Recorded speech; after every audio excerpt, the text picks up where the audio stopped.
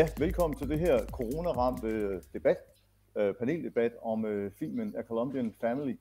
Øh, jeg vil først lige øh, præsentere øh, panelet, og under mig i billedet skulle det være en filmens instruktør, Tanja Wohl Sørensen.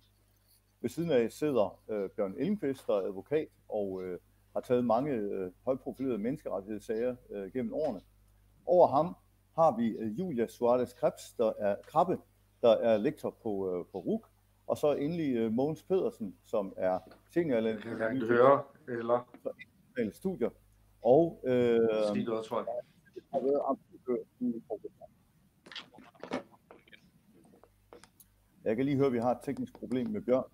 Men øh, så kan jeg jo starte med at øh, lige at sige, at filmen handler jo om øh, det konfliktfyldte øh, øh, forhold mellem en mor og en datter. Øh, moren er en øh, fremstående aktivist, menneskerettighedsaktivist, som kæmper for især småbønder, øh, jordløse bønders rettigheder i Colombia, og derfor udsat for øh, konstante dødstrusler. Det gør, at datteren, som øh, på et tidspunkt er sendt i eksil i sikkerhed i Cuba til medicinstudier, hele tiden presser sin mor for at også at søge eksil og søge øh, væk fra Colombia og i sikkerhed. Og det er sådan filmens øh, omdrejningspunkt, hvor vi ser øh, konflikten efter over 50 års borgerkrig øh, ført ned på et familieplan, og, og truslen er reel ifølge FN, altså øh, menneskerettighedsobservatører i, øh, i Colombia, så er der siden fredsprocessen blev underskrevet slået 323 folkelige øh, ledere, altså det vil sige folk, der kæmper for menneskerettigheder, som kæmper for indfødte folk, som kæmper for miljøet øh, i Colombia, er blevet slået ihjel, øh, og de fleste af morerne er uopklaret. Hertil er 188 øh, eks-soldater fra den øh, nu nedlagte øh, guerilla FARC, som indgik fredsaftalen med regeringen, de er også blevet myrdet. Så, øh, og det mest foruroligende ved den seneste FN-rapport, det er, at dødstallet er i stigning i landet. Men først og fremmest så vil jeg lige spørge dig, Tanja. Familien øh, slipper vi jo på et tidspunkt i filmen, hvor det er uafklaret, om øh, dels om datteren øh, kommer til øh, Canada, og dels om moren øh, får afsendt sin ansøgning om politisk asyl i Canada. Har du øh, seneste status på, hvordan det går med mor og datter? Ja, altså jeg, øh, jeg, øh, jeg filmede de sidste optagelser med mor og datter øh, for snart et år siden. Og øh, sådan som det står til nu, er at datteren er i gang med at øh, færdiggøre sin, øh, sin sidste semester i, øh, i Cuba. Og så er håbet jo, at, at hun øh, derefter kan tage til Canada. Øh, moren Ruby er stadigvæk i Colombia, og øh, hun, øh, hun, hun kommer nok ikke til at forlade Colombia, sådan som, som landet ligger nu. Øh, der er stadig en kamp at kæmpe. Ja. Øh, jeg vil godt tænke mig at høre øh, Julia først. Øh, når du har set den her film, øh, hvad går der så igennem hovedet på dig? Hvad tænker du om øh, filmens hovedbudskab, som du ser det? Altså, jeg synes, at, at uh, filmen gør et rigtig godt arbejde i at vise de, de mange, mange lag, som der, som der ligger i sådan en, en krig som Colombia. Også de, uh, altså, hvordan sådan en, en, en fredsaftale jo ikke er ens betydende med, med, med fred, men sådan en fredsaftale jo netop går ind og forsøger at uh, gøre noget ved nogle af de her uh, problematikker, der har skabt uh, krigen. Det, som jeg så synes er virkelig, virkelig, øh, som kolumbianer også, fordi det er jeg, som jeg synes, der virkelig er, er vellykket ved filmen, er, hvordan den via øh, de her spændinger mellem mor og datter også viser øh, både det strukturelle og det mere, og hvordan en krig den påvirker som det, det, det, det mere personlige og familiemæssige. Og her specielt i forhold til social engagement, øh, menneskerettighedskampe, og i det her specifikke, altså i filmen, så i forhold til selve jordreformen, som jo også er noget, som fredsaftalen den, den, den, den øh, går ind og, og, og taler om. Øh, og øh, hvordan, hvordan hele den her engagement og den her kamp i forhold til de her øh, meget, meget centrale og grundlæggende øh, uligheder i Colombia også er øh, øh, kontinuerligt og meget, meget øh, øh, systematisk øh, bekæmpet af nogle specifikke øh, grupper i Colombia, som er meget, meget magtfulde. Så det, det er jo den, den øh, situation, som Rui hun sidder i. Ikke? Øh, så det synes jeg, jeg synes, det, det er rigtig vigtigt, og jeg, jeg synes, at den viser netop, hvor svært det er øh, at netop få lavet og få, få, få skabt øh, et grundlag for øh, freden som sådan. Altså, vi har fredsaftalen, vi mangler jo ligesom øh, at, at, at få en rigtig arbejde i forhold til, til fred. Mogens, øh, du har været ambassadør, mens øh, man har forsøgt at implementere øh, fredsaftalen, og på den måde kunne følge det på, øh, på tæt hånd. Og du har jo også været der på et tidspunkt, hvor øh, den regering, der blev valgt efter fredsaftalen, jo faktisk kom øh, fra et parti, Ivan Duque, præsidenten nu, kommer fra et parti, der øh, har modarbejdet fredsaftalerne. Hvordan ser du øh, fredsaftalens øh, status, og også sådan i forhold til, hvad vi ser her i filmen? Altså, jeg mener, at øh, ja, Duque kommer, Ivan Duque, som han hedder, præsidenten, han kommer fra et øh, parti, som hedder Centro Democratico, og øh, som i bund og grund er imod fredsaftalen. De mener jo aldrig, at man skulle forhandle med FARC, som de, som de betegner som narkoterrorister. Og med narkoterrorister, dem forhandler man ikke, den skyder man, og den eliminerende. Fredsaftalen, ja, den har det lidt, det er lidt op ad bakken, og jeg vil sige, at øh, et af de helt store udfordringer, det er en bombe under fredsaftalen, at der er så mange, der bliver myrdet. At det er flere hundrede sociale rådliv, øh, råd, eller sociale ledere og næsten 200 ex-FARC-medlemmer, øh, der er blevet myrdet, siden fredsaftalen blev indgået for snart 3,5 år siden. Og så vil jeg ellers sige, jamen altså, det er, filmen er et fantastisk godt eksempel øh, på et af de utallige familiære og sociale dilemmaer, som konflikten, øh, som jo varede over 50 år, øh, har ført til. I må regne med, at der har været 7 millioner, over 7 millioner internt fordrevet, over 200.000 dræbte og over 100.000 øh, forsvundne. Hvordan kommer man ud af det voldsomme øh, sociale, de sociale problemer, som det medfører? Fredsaftalen har jo besluttet, at man skal lave en fredsdomstol, en sandhedskommission og en enhed til øh, søgning efter alle de forsvundne, der er. Og det er faktisk noget af det, der er lykkes i fredsaftalen. De eksisterer, de tre institutioner, og de er meget vigtige, fordi man skal have sandheden på bordet, for at kan skabe forsoning øh, og fred på lang sigt. Det er en af, men der er så mange, der er andre elementer i fredsaftalen, hvor man nok må sige, der ikke er sket noget fremskridt, og især altså hele jordreformen. Jordreformen er en ulige fordeling af jorden, som noget af det værste, man har set i Latinamerika, er helt klart et område, som der ikke sker noget. Og man kan nok ikke forvente under nuværende regering, at det sker.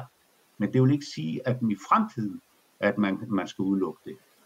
Der er andre dilemmaer i fredsaftalen, dem jeg kan måske komme ind på lidt senere. Ja. Tanja, i din film, der beskriver du øh, sådan en meget personlig pris, den her kamp har. Men øh, jeg kan ikke lade være med at tænke på, det er jo specielt jordreformen, som, øh, som ligger øh, rigtig meget på sinde. Øh, har du mærket hende, øh, du har fulgt familien, så vidt jeg forstår, i seks år, har du mærket på hende på noget tidspunkt, at hun øh, har tvivlet på, at øh, altså også presser datteren, at øh, hendes offer er sagen værd, og at hun i, i det hele taget flytter noget? Altså, Ruby er jo hvad skal man sige, grund til, at, at jeg startede med at finde hende, var jo også, fordi jeg synes, hun var en ret spændende person. Hun er jo en af de her lokale øh, menneskerettighedsforkæmpere, som har, altså, som har kæmpet for jordrettigheder og for småbønders rettigheder, siden hun var 14, så det vil sige altså siden 70'erne. Så hun er jo en person, som har levet igennem øh, ja, flere forsøg på fredsaftaler øh, mellem FARC og regeringen. Hun har overlevet øh, utallige øh, morattentater. Øh, hun har øh, været en del af den lokale øh, både øh, landarbejderfagforening og jordløses øh, øh, organiseringer øh, i de sidste 30 år. Øh, og hun har også været medlem af, af det parti, som der blev udryddet øh, af paramilitære i øh, slut 80'erne, start 90'erne, som hed Union Patriotica, Øh, så altså, hun har jo set lidt af hvert, ikke? og hun har, hun har levet, hvad skal man sige, igennem hele den her konflikt øh, øh, og mærket det på egen krop. Så hvad skal man sige, starten, da fredsprocessen gik i gang, der, øh, der var det meget med en, øh, ja, vi skal støtte op, men vi må også se, hvordan det kommer til at gå, fordi vi har set det fejle før, med rigtig, rigtig store konsekvenser. Men jo længere at fredsaftalen eller fredsforhandlingerne kom øh, hen, jamen jo mere, så gik der jo også en øh, slags, øh, altså at nu skal vi bare arbejde. Øh, og det var lidt den fornemmelse, jeg også fik fra hendes kollegaer, altså andre menneskerettighedsforkæmpere, at det var, at nu skulle vi bare, nu skal de arbejde for, at den her fredsaftale skal, øh, skal, øh, skal simpelthen komme til at øh, eksistere. Øh, også fordi man skal også forstå, at under den periode, hvor at, øh, i hvert fald de sidste par år, inden fredsaftalen den blev underskrevet, der var der jo øh,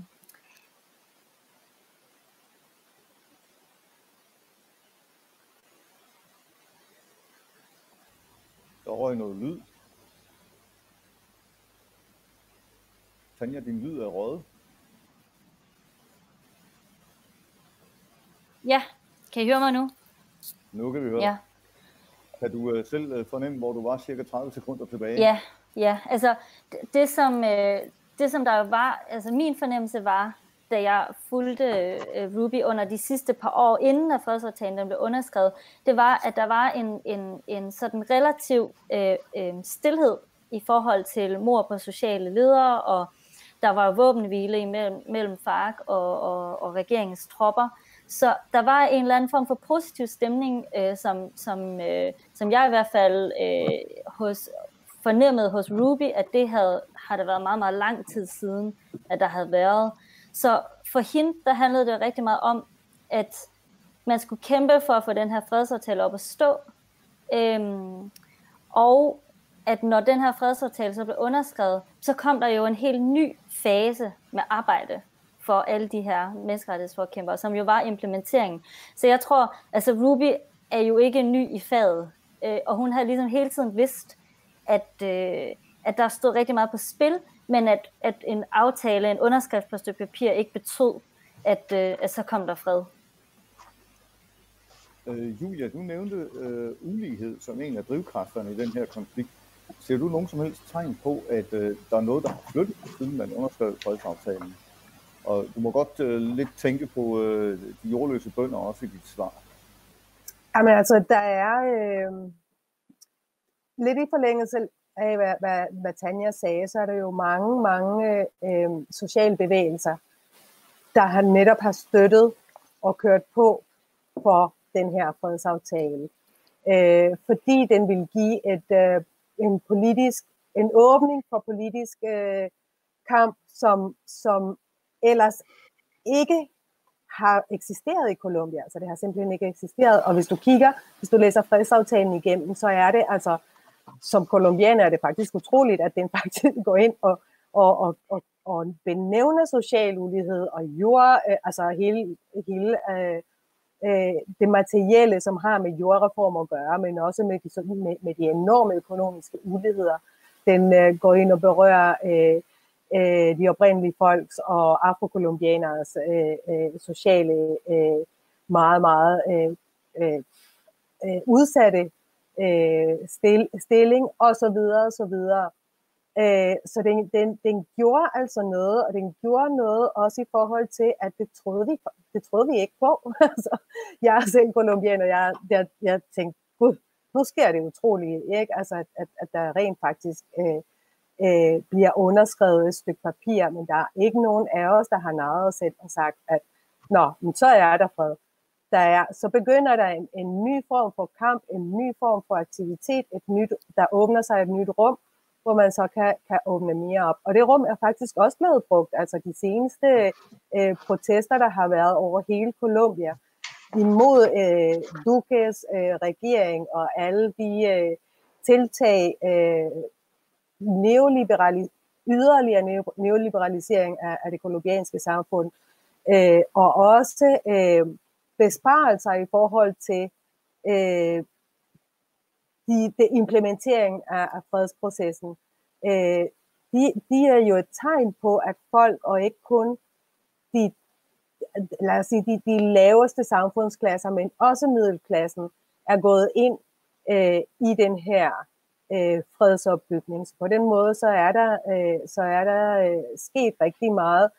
Der er jo så heller ikke nogen af os, der, der ligesom øh, øh, øh, tror, at det bliver ufarligt. Selvfølgelig er, er det farligt, og, og, og selvfølgelig øh, bliver det, altså der er, der er stadigvæk en, en krig i gang i Colombia mod socialbevægelser, mod hele den her øh, øh, mobilisering. Og man skal jo også huske på, at en krig, altså ulighed øh, og undertrykkelse i Colombia er jo i bund og grund antisocial. Den forsøger at knække de sociale øh, bevægelsers initiativer, der netop øh, skaber et eller andet politisk rum for forandring. Og det er også derfor, at vi også har set, at i tidligere fred, fredsprocesser, der har øh, øh, øh, i forhold til, som, som øh, Tanja nævnte, i forhold til Union Patriotica, der, der blev folk jo simpelthen udryddet, altså stort set.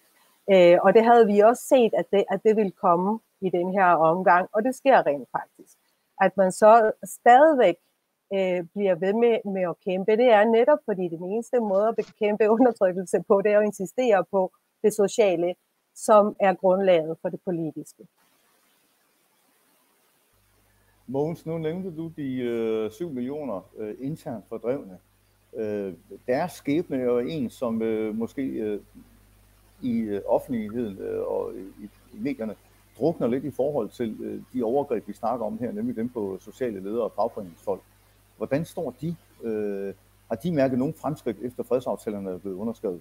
Og jeg tror ikke, de har no, fået nogen øh, klare fremskridt, men det er klart, altså situationen er, på trods af alle de mange mor, så er den langt bedre øh, i Colombia end under øh, den væbnede kamp.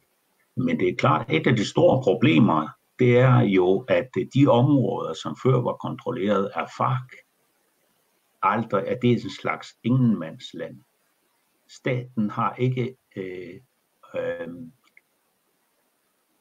arbejder ikke i de områder, bortset fra herren. Så derfor er den overladt i vid udstrækning til narkokarteller. Det er sådan, at Colombia producerer jo 70% af verdens kokainproduktion. Og i de områder der, det er en af de store problemer, som blandt andet FN, de store udfordringer, som FN har peget på, det er, at staten må være præsent til stede overalt i landet. Ellers så vil jeg sige, at fredsaftalen som sådan, altså på nogle områder jo har været en succes, jeg har nævnt øh, fredsdomstolen, sandhedskommissionen og enheden, enheden til ansøgning til eftersøgning er forsvundet. Det fungerer på trods af regeringen, vil jeg sige, som forsøgte at reformere det. Men det er jo også en stor succes, at så mange har mobiliseret. Faktisk var der 13.000 faksoldater omkring, øh, øh, altså før fredsaftalen i november, og øh, 90 procent af dem, de har demobiliseret det er selvfølgelig, og det vil jeg godt understrege, det er selvfølgelig meget sørgeligt, at øh, så er der 200, næsten 200, der er blevet skudt. Det store udstående problem, det er to områder. Især jordreformen, men det er også den politiske deltagelse. Det var faktisk sådan, at øh, fredsaftalen har besluttet, at der skulle være en større politisk deltagelse, især de områder, som har berørt af konflikten i mange år. Det vil sige, at der skal skabes nye valgkredser. Det skal være sådan, at befolkningen kan deltage i den nationale øh, udviklingsproces. Så vil jeg sige, internationalt er der jo slet ingen tvivl. Alle støtter fredsaftalen. Lige fra FN over EU, den øh, organisation afrikanske stater. De alle sammen entydigt støtter fredsaftalen. Hver tredje måned bliver en rapport af FN's generalsekretærs særlig udsending for Colombia forelagt og diskuteret i FN's Sikkerhedsråd. Jeg tror ikke, der er så mange andre situationer, der skaber så stor opmærksomhed. Øh, faktisk øh, vil jeg sige, at øh, de nordiske lande, bortset fra Danmark, er aktive støtter af fredsprocessen i, i Colombia. Det er selvfølgelig en skam, at Danmark ikke er mere aktiv på det område der. Så vil jeg sige, endelig vil jeg, vil jeg godt nævne, at øh, der faktisk jo har været nogle begivenheder det sidste halve år, som gør måske, at det er en lille smule mere, øh, det ser mere optimistisk ud end tidligere. Øh, der er dannet for noget, man kalder Defendamos la Paz, forsvar, lad os forsvare øh, freden. Øh, en stærk midterfløj i parlamentet, som går ind for freden. Øh, der var et valg, lokalvalg, eller departement og lokalvalg i oktober, hvor øh, et stor, øh, der var en stor udskiftning, og især var det øh, folk øh, fra forskellige partier, som gik ind for fredsaftalen, valg. Øh, da det kommer, at der har været nogle massive demonstrationer, som andre, som i andre lande i Latinamerika, i løbet af oktober, november og december. Og det er helt klart, at de unge, især de studerende, er, er, er kommet frem på banen som ny aktør og går stærkt ind for freden. Og det vil jeg sige, at det er måske øh, i hvert fald delvis en anden, øh, et andet politisk scenarie, end det der var for, for et år eller for et halvt år siden. Og det ser jeg som noget positivt på fredsaftalen. Man skal ikke forvente under den nuværende regering, som jeg har nævnt, at det bare skrider fremad uden problemer. I hele taget skal man ikke forvente, at en fredsaftale kan gennemføres øh, øh, uden, uden problemer. Især de sociale øh, modsætninger, som, forsøger, som fredsaftalen forsøger at, at, at løse. Så altså, jeg synes, at øh, midt i det hele, øh, med øh, de mange mor på sociale ledere, så er der også grund til en vis optimisme, hvad angår fredsaftalen. For jeg tror, at det politiske scenarie, det politiske konstellation i Colombia er forskellig fra, hvad den var for et halvt eller helt år siden. Men, men bare ganske kort, Mogens. Øh, du nævner OAS, du, altså Organisationen af Amerikanske Stater, du nævner FN, men er det ikke et problem, at man har øh, dels en regering i Bogotá, der i princippet er mod øh, fredsaftalen, og så har øh, en øh, regering i USA, som er mere optaget af, at man igen skal begynde at sprøjte øh, kokainbuskene fra, mar- øh, fra luften, i stedet for at, at skubbe på fredsprocessen. Og det er selvfølgelig et problem, at USA, altså det de interesserer, deres største interesse i Colombia, det er jo at øh, få mindsket kokainproduktionen. Ikke? Altså derfor vil de sprøjte, det går alt mod, det går imod fundamentalt i alle de erfaringer, vi har på det område der, som netop viser, at det ikke er, at det ikke er bæredygtigt. Sprøjtning af koka, coca det øh, vil i på længere sigt ikke give nogle positive resultater. Men det er klart, at Ivan Duque og hans regering, de er underlagt, de er under stærk pres på det. Og i virkeligheden, i virkeligheden er, er USA måske ikke så interesseret i selve fredsprocessen, de er mere interesseret i, i koka og kokainproduktion. Så vil jeg godt have, at vi sådan, inden vi skal slutte, vender tilbage øh, til filmen igen. Og øh, Tanja, øh, jeg, jeg tænkte på undervejs, da jeg så filmen, at øh, det er selvfølgelig et stort offer, øh, Ruby øh, lægger på sin familie. Men er det ikke stort set det samme offer som andre øh, familier, ved, øh, hvor der er øh, folk, som kæmper for en sag, som nærmest har et kald? Det vil altså politisk eller religiøst, eller måske kunstnerisk. En, øh, en koncertpianists barn vil måske også føle sig forsømt. Har du overvejet, at øh, det, det måske gør øh, konflikten mellem mor og datter mere øh, almen, end, end, end at den er, er bundet op på den konflikt? Altså, jeg, jeg tænker, at det, som der jo det, som der jo gør Ruby og, og, og hendes datter Jidas situation, øh, sætter det mere på spidsen, det er jo, at, at de, hvad skal man sige, ret universelle kampe, som de har, øh, udspiller sig i en kontekst af en, øh, en, en væbnet konflikt og en fredsaftale, eller hvad skal man sige, en post-konflikt øh øh, øh, øh, scenarie. Så, så det sætter jo ligesom alting meget mere på spidsen. Og man kunne sagtens sige, ja, øh, det, det er da egentlig heldigt nok, at øh, Ruby øh, har en øh, kæmper for en sag, som, som, som man kan, som man, som man mange folk ser som, som en god sag. Øh, fordi hvis hun havde været, øh, hvad skal man sige, hvis hun nu havde, havde opgivet sin familie af andre grunde for, for, for forretningsmæssige grunde eller, eller, øh, eller, eller andet, så kunne hun jo måske godt ende med at være en lidt mindre, øh, hvad skal man sige, en lidt mindre empatisk karakter.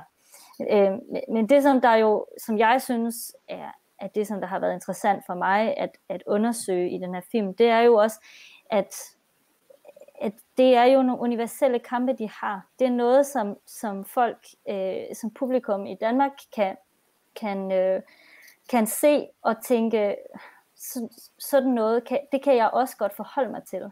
Hvor at, at ofte det, som, som er det, desværre noget af det, det eneste, der, der, der, der trænger igennem til, til danske medier, øh, har jo ofte været omkring kokain og vold, øh, som, som på en eller anden måde ikke, øh, ikke sætter sig, ikke tager nogen dybere, hvad skal man sige, kontekstuel øh, analyse af, hvorfor det står til, som det gør i Colombia. Øhm, og for mig var det bare ret interessant at gøre, tage et, et meget mere menneskeligt og meget mere øh, ja, medmenneskeligt vinkel på den, øh, omkring, hvad er det for nogle kampe, som, som de som mor og datter står imellem. Fordi ja, Ruby har taget nogle valg øh, som forældre, øh, men, men hun har jo også, hvad skal man sige, hun er jo også en aktivist i en kontekst, som, som er meget mere brutal, som kræver, at man tager nogle, nogle valg, altså nogle meget hårde valg, end for eksempel øh, øh, her i, i Danmark. Julia, du nævnte selv øh, i dit, øh, din indledning, øh, da vi startede den her øh, debat, eller den her panelsnak, øh, netop konflikten øh, mellem mor og datter, som det er også et billede på, øh, hvor, hvor hård den her kamp er. Har du mødt andre øh, i Colombia, andre idealister, som har stået i, i lignende dilemmaer, som, øh, som Ruby og Jedi står i, i filmen her? Ja, ja, det har jeg. Altså, ja, det, dem er der jo rigtig mange af, og jeg vil jo så ikke sige faktisk, at det, det er jo ikke folk, der er idealister. Altså det der er øh, en grundlæggende forskel fra øh, at tage sådan et valg, som Rui gør, og tage sådan et valg som at blive koncertpianist, øh, er jo sådan set nødvendighed. Og liv og død, du, du, du dør jo ikke af. Altså du, du, du udsætter dig ikke dit eget liv eller din kæres liv, når du vælger at være og forfølge en karriere eller være koncertpianist. Det, det gør du, når du øh, går ind og engagerer dig øh, i de her øh, kampe. Men det er, altså, det, det, de mennesker, alle de mennesker, jeg kender, som er engageret i sociale kampe, det er jo ikke, det er jo ikke et valg. Altså, det er jo ikke, fordi det er hyggeligt, eller det, det er, fordi det er nødvendigt. Ikke? Og, og hele den der dilemma, og som, som er også er en del af den her, øh, øh, de her spændinger mellem Rui og Jira, øh, omkring hvorvidt man, øh, Rui skal migrere eller ej. Rui siger jo også, at jeg har prøvet at være i Spanien, og der er jeg intet, og der kan jeg int, altså der gør jeg jo ikke nogen forskel. Og her kan jeg faktisk gøre en hel del, og her er jeg faktisk, ikke, altså, her er jeg en del af noget, som, som rent faktisk giver håb.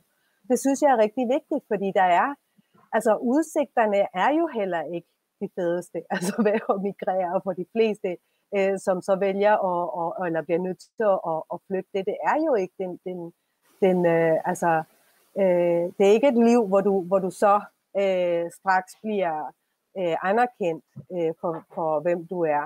Og det er Ruby, hun er enormt klar på det, og jeg synes, at det er rigtig, rigtig altså, vigtigt, at det også den pointe kommer frem i filmen, at det er, jo, det er et valg, men det er jo ikke et valg, det er en nødvendighed, og der er nogle ting, der er meget mere grundlæggende, som, som, som uh, ligger i de her sociale engagementer. Ja, vi er desværre ved at nå til vejs inde for den her snak, øh, og desværre blev det uden Bjørn Elmqvist. Gav jo så mere taletid til jer andre, til øh, Julia Suarez Krabbe fra RUK, til Mogens Pedersen fra Dansk Institut for Internationale Studier, og selvfølgelig til øh, filmens instruktør, øh, Tanja Wohl Sørensen.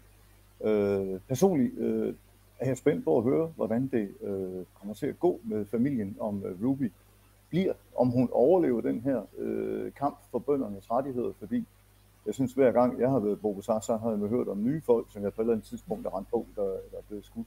Jeg håber ikke, det kommer til at gå hende sådan. Men øh, I skal have tak for, øh, at I var med i debatten her.